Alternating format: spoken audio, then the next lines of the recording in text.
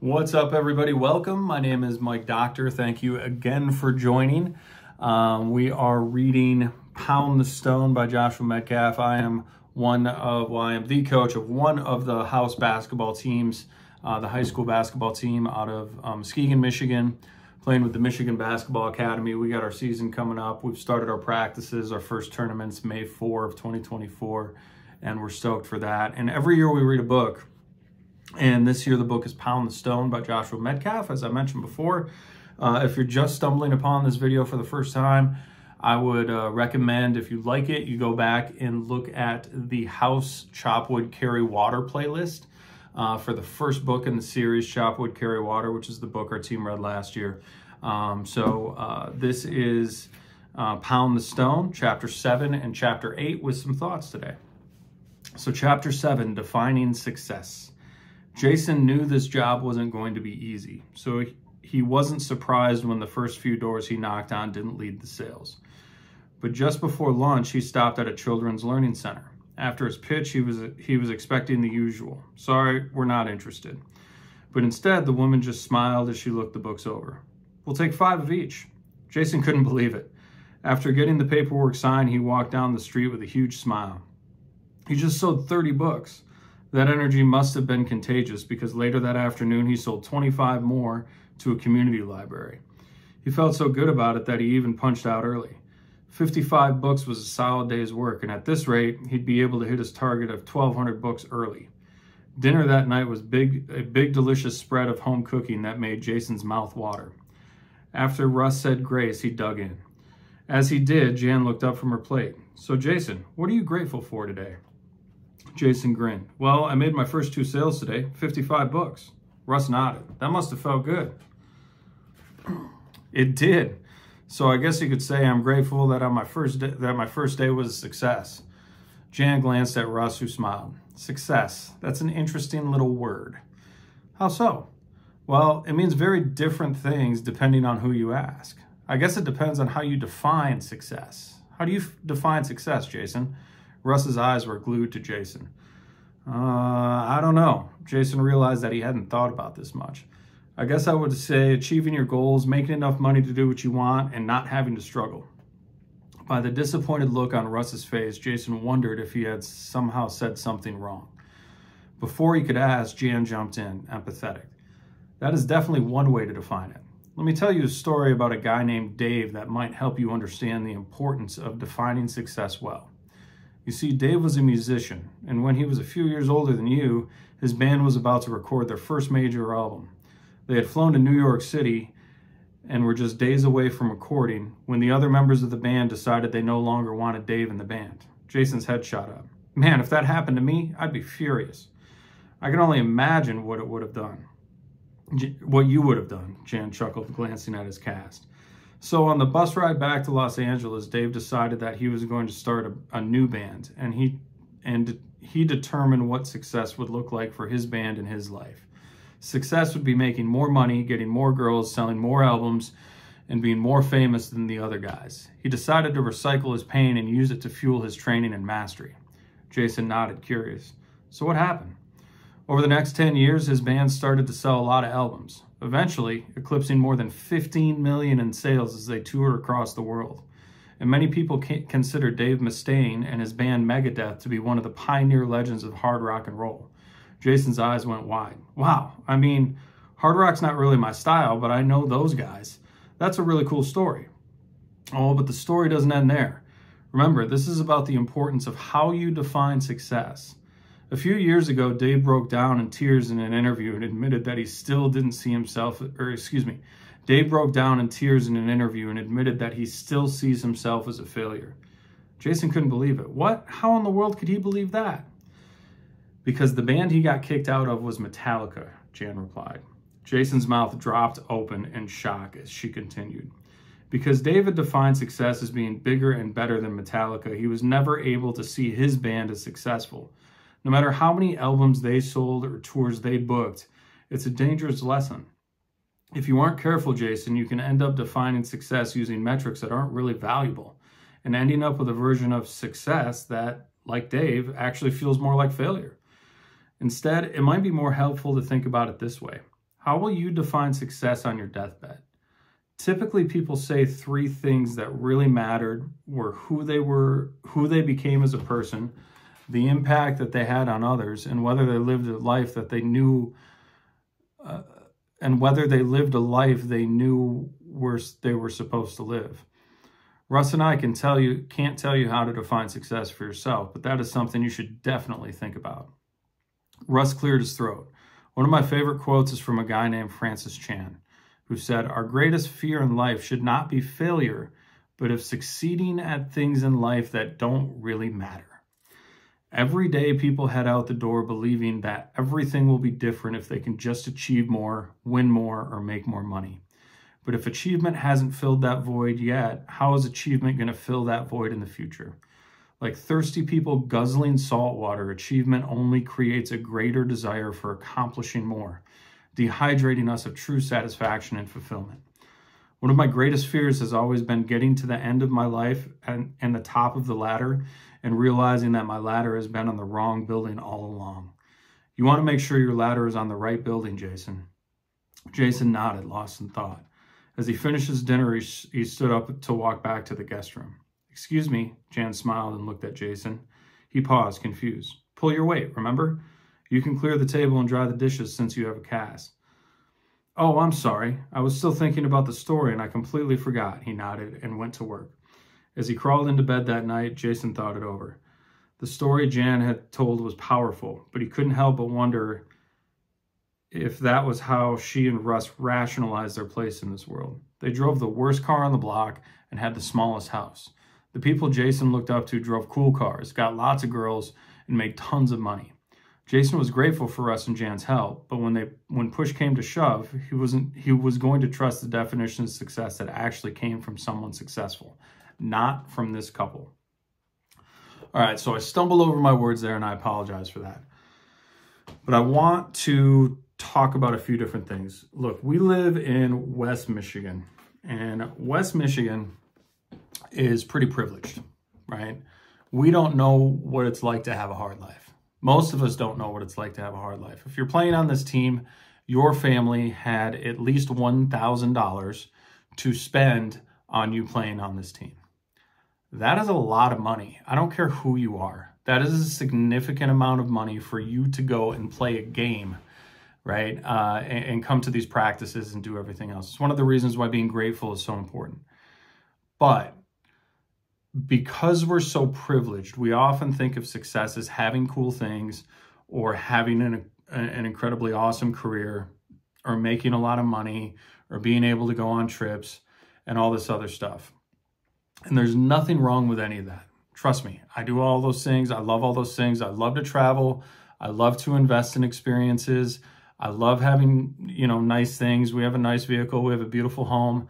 We have dogs, we have pets, we have all kinds of ridiculous stuff, right?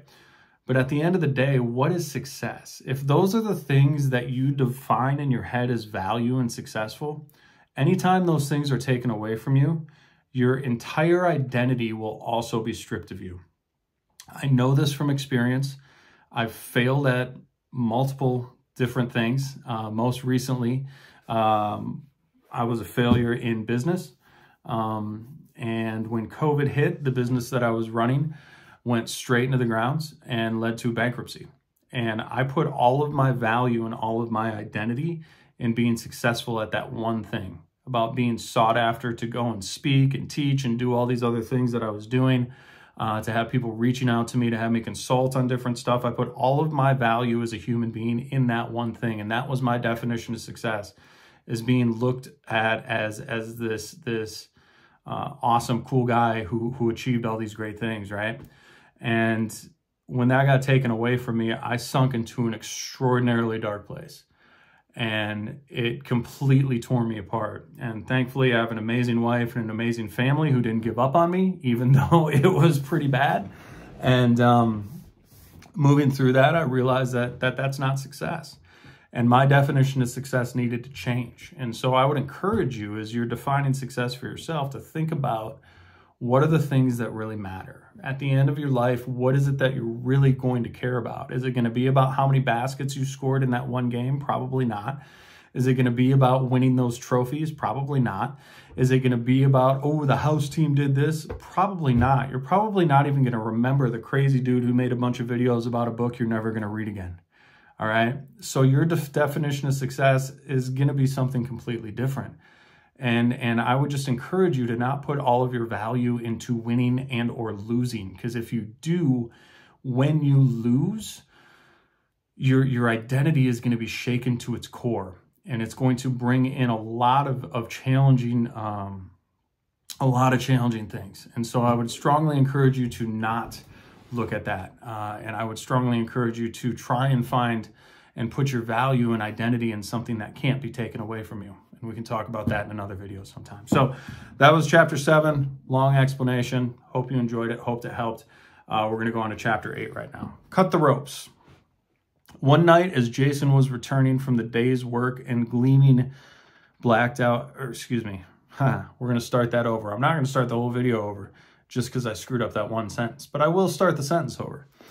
One night, as Jason was returning from the day's work, a gleaming blacked out Porsche 911 zoomed past him, pulling into the driveway a few doors down. The driver was in his 30s and looked like a Brad Pitt, tan, blonde, blonde haired, and wearing a custom fitted three piece suit that looked like a million bucks. He waved at Russ and went inside, and Jason shook his head in awe. Who was that? he asked Russ. Our neighbor Andrew. He's a great guy. What does he do for a living? He's an investment banker at one of the big firms downtown. Russ noticed Jason's face fall a little bit as he sighed. What's wrong? You look like I just told you Santa Claus isn't real. It's nothing. Just I know that guys like me don't get jobs like that. You sure about that? Yeah, pretty sure. Russ got an intense look in his eyes. Sounds like you have a rope to cut. What? What, what, does a, what does a rope have to do with being a stockbroker? Everything. A man once took his children into a zoo in India while on vacation. Their last stop was at the zoo's prized animals, the elephants. The massive beast roamed around freely with nothing but a single rope tied to a stick carried by one of the zookeepers to hold them back. The man's face went white and he grabbed the kids and backed away. He shouted at the zookeeper, Are you insane? You have two ton beasts just roaming around here tied down by a single rope? They could snap at any time and crush everything in their path. The zookeeper just smiled. Sir, please calm down. I know how powerful they are. But what you don't know is that when they're born, the very first thing we do is tie a rope around their leg. We tie a rope to the other, we tie the other end of the rope to a strong tree. And when they are young, the rope is much stronger than them. They fight and fight to break free from the rope, but eventually their will breaks. And they come to believe that they can never break free from the rope. As they grow older, they do so with the belief that the rope has the power over them, even though they have massive potential and are amazingly powerful. They will never hurt us. Their belief about the rope holds them back. Jason nodded. I think I see what you're getting at. I hope so, Jason. The question you always have to ask yourself is what are the ropes in my life that have been holding me back? What beliefs am I clinging to that are keeping me stuck? A wise friend of mine once told me, we learn our belief systems as very little children. And and then move through life creating experiences that match our beliefs. I'm going to read that again. We, we learn our belief systems as very little, ch little children and then move through life creating experiences that match our beliefs. Jason took a deep breath as he was deeply moved by this idea. Jason, most people are completely unaware of this. They just float down the stream through life. You must always ask yourself, what are the beliefs that may have been true at one point in my life, but are no longer true and are keeping me from fulfilling my greatest potential. Maybe it's something as simple as thinking guys like you can't become stockbrokers like Andrew, but you'd be very wrong there. Do you know who Chris Gardner is? His name sounds familiar, and it should. He's the man whose journey as a homeless single dad was made into a film, The Pursuit of Happiness. He worked his way out of total poverty to become an incredibly successful stockbroker and had a long and very prosperous career. Jason nodded. Wow, I didn't know that. Jason, it's easy to look around the world and say little things like, guys like me don't get jobs like that. But it's just not true. Whenever you find yourself thinking that, ask yourself, who says? You aren't smart enough. Who says? You need another degree to be successful in this economy. Who says? You are too old. Who says? You are too young. Who says you don't have enough experience? Who says you can never play for that team or in that league? Who says These false beliefs are all around us, and many times we don't even know what they are until they are broken. So we must continue continuously ask who says, and we must continually re-examine our beliefs to see if they are true or if they are just a rope that needs to be cut. The more Jason thought about this, his own beliefs, the more Jason thought about his own beliefs about himself and the world, the more it made sense. Yeah, I think I might have a few of those. Well, now you know what to do with them, Russ smiled. Cut the ropes. So that's the end of chapter 8. I'm going to read that one section of chapter 8 again, and I want to talk about it. We learn our belief systems as very little children and then move through life creating experiences that match our beliefs. One of the things that really, really sucks about our education system, and I'm a college professor, by the way, one of the things that really sucks about our education system is that it is framed in a way that tells you if you don't do this or you don't do that, you don't have a chance at being successful. And that's reinforced into us as little children. And it's just simply not true. Um, I, am not telling you not to go to college. I think you should go to college. Uh, but I don't think you should go to college because college is going to make you successful.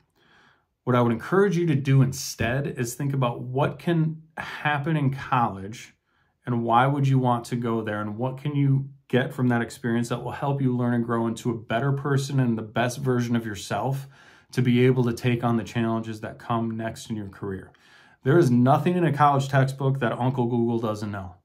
And with the advancement of AI and ChatGPT and all these other things, um, there is nothing that you're going to be able to do in an office job that you can't just ask ChatGPT to make for you. Okay? But understanding and going through the challenges and struggles of grinding through and learning something and learning how to learn, that's what's valuable. Making connections and networking, that's what's valuable. Um, but our belief system, you can't do this if you don't do this. You're not good enough. You're a B team player. You got cut. You're not a starter. All that stuff is bullshit. Excuse me. Sorry. I probably shouldn't say that on a video for high schoolers. Um, all that stuff is crap, all right? And I'm passionate about this because it's true. The only thing that's holding you back is you. If you don't believe that you're capable of doing something, you've already lost. The first thing is the belief that you can do it and that you belong in the conversation. And if you can get past all the other nonsense and all the other noise that everybody else has said about you and understand that you are here for a reason, I chose all of you specifically, by the way, to be on this team.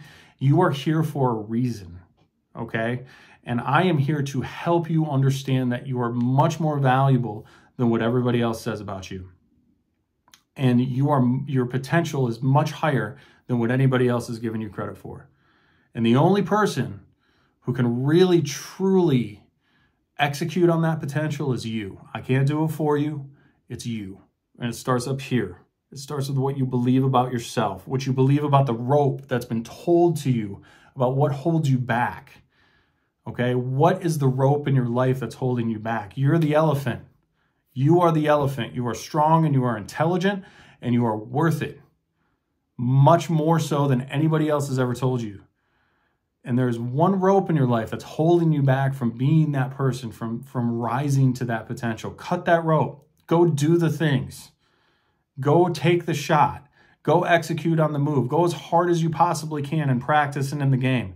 I don't care who's coming up against us. They need to worry about us. We don't need to worry about them. There is no rope that's attached to us that's going to stop us from developing and working and pushing to our highest potential to give everybody else heck once we're out on that court. All right? There was my soapbox. Those were those two chapters. Chop wood carry water. We'll see you next time, friends. Bye now.